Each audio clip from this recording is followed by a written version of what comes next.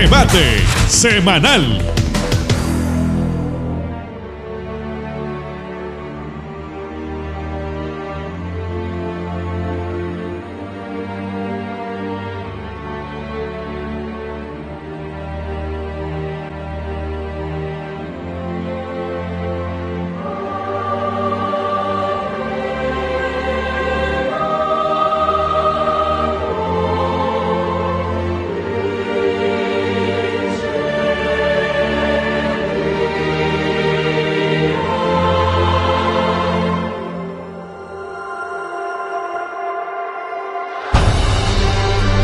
La atmósfera de esta semana inició entre cánticos, devoción y la tradición de todo un pueblo, que como cada año celebra una de sus fiestas emblemáticas.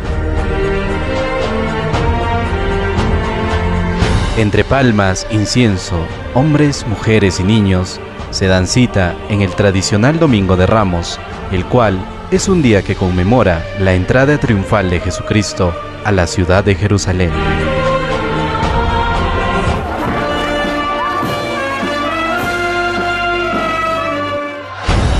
Las iglesias de la Soledad y de Belén recorrieron las principales calles con la imagen del Señor de Ramos montado en un pollino.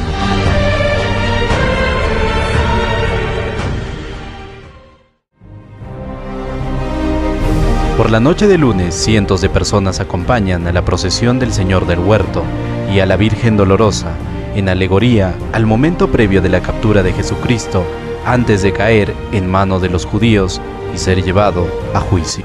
Siempre presente acá en la procesión de oración del huerto, del barrio Huerpampa. Y veo que esta vez hay más de personas, eso me agrada bastante.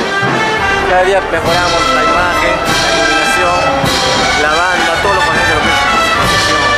Y espero que el próximo año sea mejor. A las 10 de la mañana del martes, la Iglesia del Señor de la Soledad abre sus puertas para la celebración de la Misa Crismal, reúne a todos los sacerdotes de la diócesis de Huaraz, presidida por el obispo.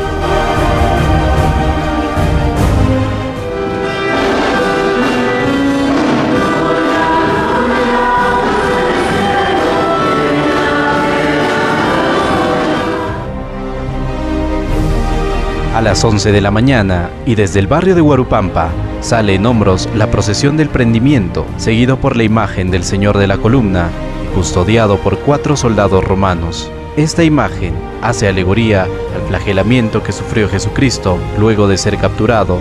Metros más allá, la Virgen Dolorosa, acompañada de sus fieles devotos.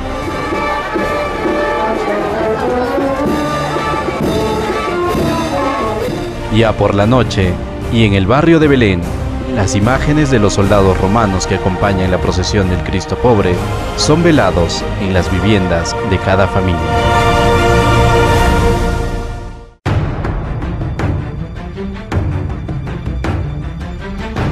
Por la mañana del miércoles, la iglesia de Belén abre sus puertas para la salida de la imagen del Cristo pobre, el cual es la representación de la humillación que sufrió Jesucristo luego de la tortura al ser coronado con espinas y cubierto con un manto. Esta imagen también es custodiada por cuatro soldados romanos.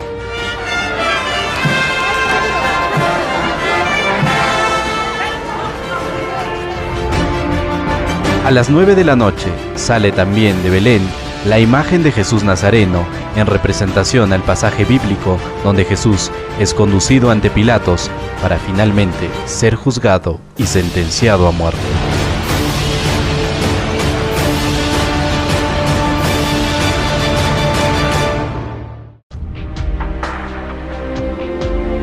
Ya el jueves, desde las 4 de la tarde, empieza el tiempo de duelo con la velación de las imágenes de San Juan Evangelista, María Magdalena, Jesús Nazareno y la Virgen Dolorosa. Luego, desde las 10 se realizan los tradicionales cánticos en quechua por fieles de la zona rural.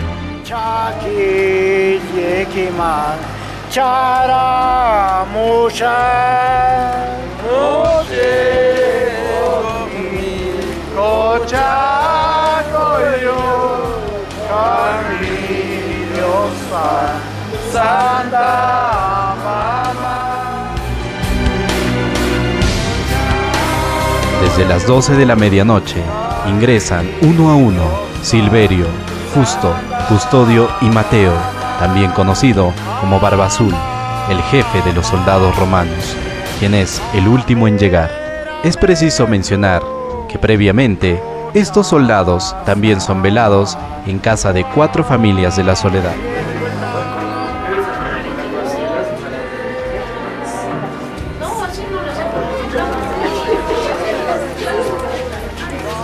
Buenas noches.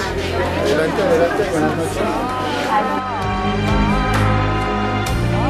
A las 2 de la mañana y a paso lento, inicia el Guaraquí con la salida de las cuatro andas que trasladan a las imágenes que acompañan a Cristo hasta la iglesia de San Francisco, haciendo un recorrido de tres horas y media entre cánticos, rezos y alabanzas.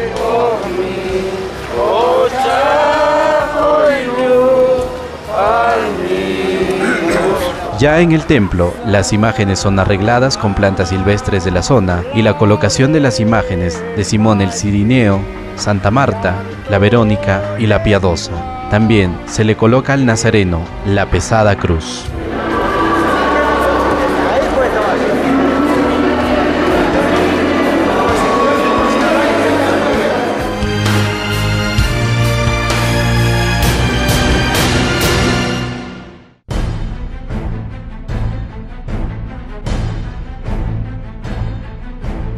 El Viernes Santo, al mediodía, se realiza la representación del Vía Crucis con la procesión del Viernes Santo. Este año, los fieles salieron con banderas blancas en señal de paz por todos los problemas acontecidos en nuestra región y la crisis que padecemos. Portando la banderita blanca. Sí, ¿por así es. Bueno, esta es una campaña que inició el grupo de diálogo Ancash con motivo de manifestarnos por la situación de corrupción y violencia que vive la región. Y llamamos a todos los ciudadanos de Huaraz y la región a que se sumen a esta iniciativa que te- tenemos.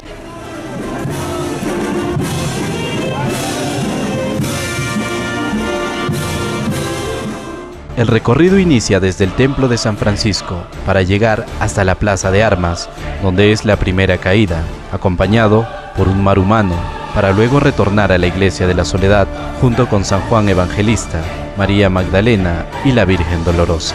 bueno, eh, un Viernes Santo, ¿no? En la atardecer de Viernes Santo, contemplando el misterio de nuestra fe, la muerte de Cristo y pues todo eso para nuestra salvación, para vivir en paz, para vivir en la reconciliación.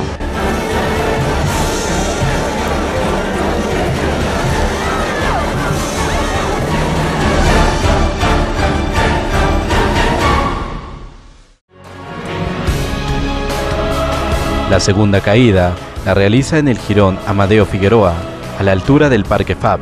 La última caída y la más conmovedora se da en la Plazuela de la Soledad, donde Cristo intenta recuperarse, pero no puede.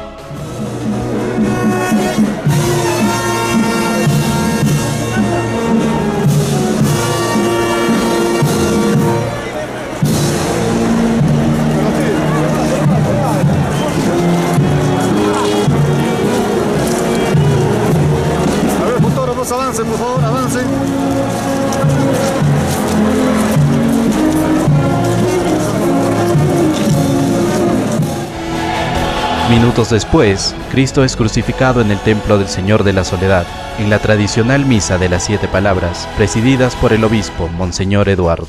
Al culminar la ceremonia, Jesús es desclavado de la cruz y puesto en el santo sepulcro para salir en procesión.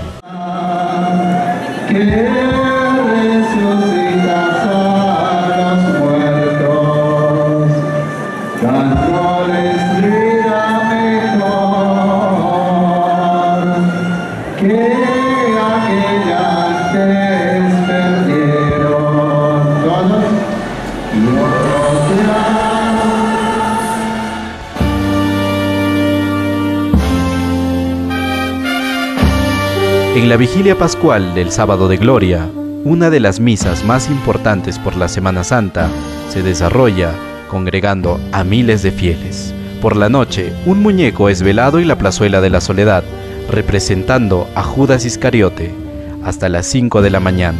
Luego es colgado e incinerado.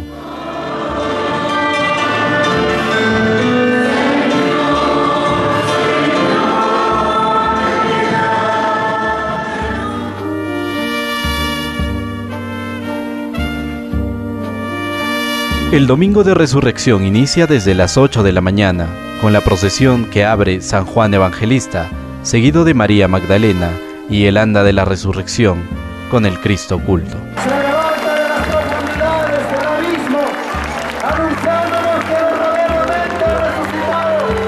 Cristo vive. En simultáneo, la Virgen Dolorosa sale del templo de San Francisco al encuentro con su hijo en la Plaza de Armas de Huaraz, donde hay una escenificación de la resurrección de Jesucristo, y éste sale victorioso y venciendo a la muerte. Posteriormente, la Virgen se despoja del velo negro, que representa el luto, y se despoja del corazón atravesado por las siete espadas.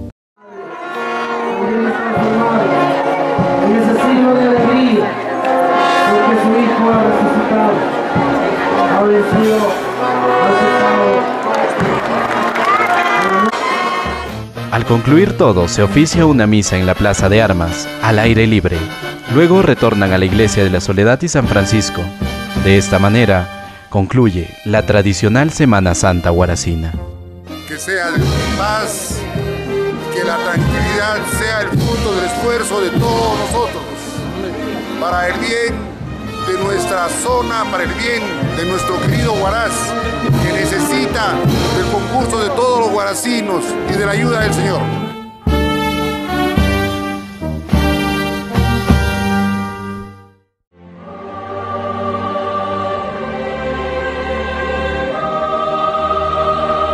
Así termina el tiempo santo, donde miles de fieles reflexionan con la representación de la pasión y resurrección de Cristo.